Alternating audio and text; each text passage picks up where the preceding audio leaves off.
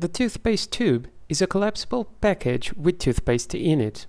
It has a round orifice on one of its ends that can be closed by different caps and closures to allow users to reseal its content when not in use. This is Desicons and today we're going to talk about the top 6 things you should probably know about the toothpaste tube and how it helped and keeps on helping toothpaste companies to achieve higher sales targets. But before moving on and staying on top of today's video theme, please make sure to squeeze that like button till it turns blue.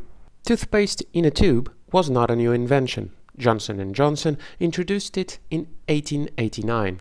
However, three years would have passed until Dr. Washington Sheffield, a New London dentist, came up with the idea of using a collapsible tube instead of a rigid one.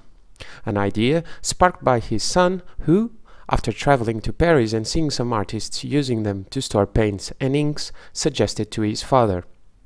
The squeezable metal tube was invented in 1841 by John Goffe Rand, an American portrait painter, and it intended to hold the artist's paint, allowing them to travel with their art supplies to further and more rural locations.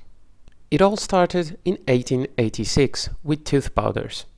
These forced users to dip their wet toothbrush into a glass jar so that the mixture between the powder and the water allowed for a paste to be formed.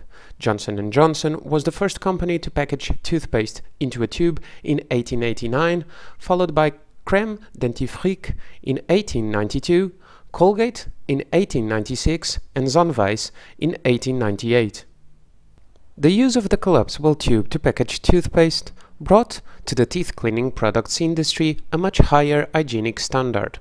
This squeezable tube, which can be used to store viscous liquids such as toothpaste, artist's paint, adhesive, ointment, and so on, is basically a cylindrical, hollow piece with an oval profile that tends to be made out of plastic, paperboard, aluminium, or any other metal.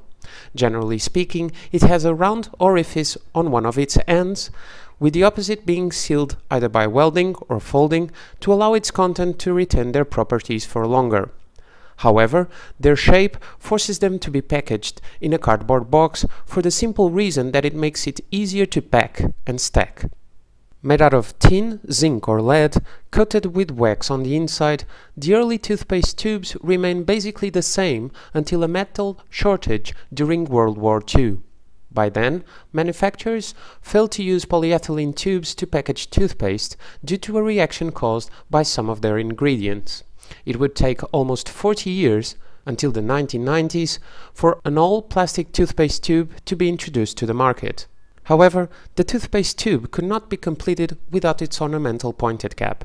Redesigned in 1921 by Johnson & Johnson's founder and engineer James Wood Johnson, this screw-on-top cap allowed it for the user to open the toothpaste tube sealed mouth effortlessly.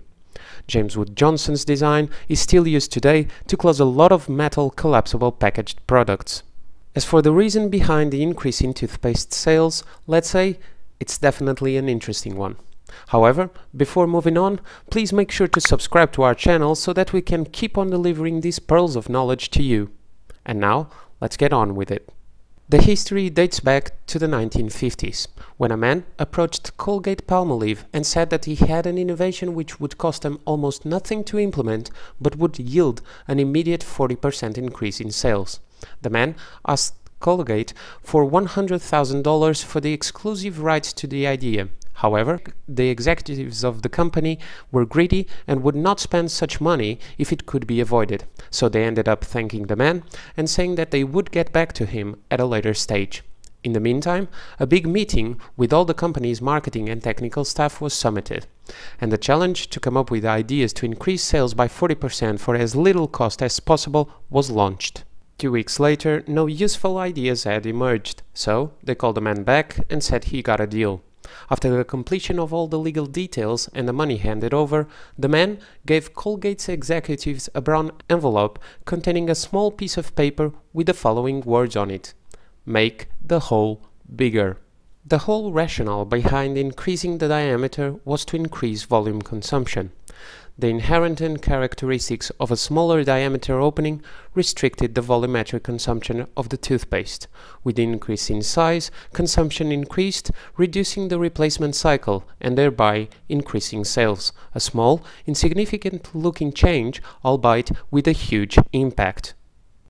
From its invention to the way used to increase toothpaste sales, going through its evolution, design, materials and cap function, these were the top 6 facts about the toothpaste tube that you were probably not aware of.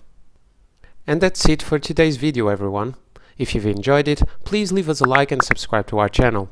Make sure to turn that notification bell on and let us know in the comments section down below which products you would like to see featured in future videos. Thank you and we'll see you on the next one.